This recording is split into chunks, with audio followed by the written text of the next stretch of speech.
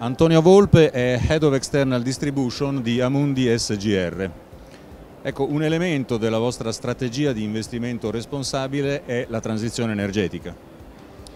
Sì, direi che ci stiamo impegnando ormai da diversi anni nell'investimento responsabile sia nel piano triennale 2018-2021 abbiamo già inserito criteri ESG all'interno di tutti i nostri eh, fondi a gestione attiva e questo obiettivo è stato già raggiunto. Eh, adesso nel piano triennale di Amundi, quindi eh, dal 2022 al 2025, ci impegniamo anche a voler inserire un nuovo ranking di transizione ecologica che applicheremo per valutare eh, le aziende nelle quali investiamo al fine di eh, impattare sui loro processi di investimento e ridurre eh, l'impronta di carbonio, quindi eh, decarbonizzare i loro eh, bilanci.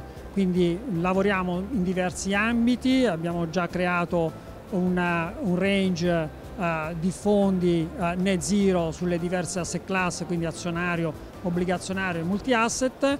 Uh, un altro ambito di, di grande interesse è quello sulla filiera dell'idrogeno dove c'è un fondo ormai dedicato a questo tema eh, lanciato eh, poco più di un anno fa e che ha già raccolto un, un miliardo di euro.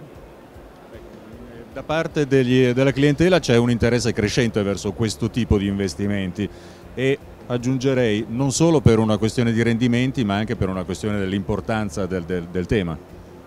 Sì, direi che gli investitori eh, accolgono molto bene queste soluzioni perché si rendono conto che partecipano al cambiamento, partecipano al cambiamento, alla transizione energetica eh, che come sappiamo mh, dobbiamo raggiungere a breve degli obiettivi molto importanti, eh, ad esempio il net zero entro il 2050 e quindi anche l'industria del risparmio gestito sta aiutando, sta facendo confluire il risparmio degli investitori verso soluzioni che ci aiutano a raggiungere questo importante target.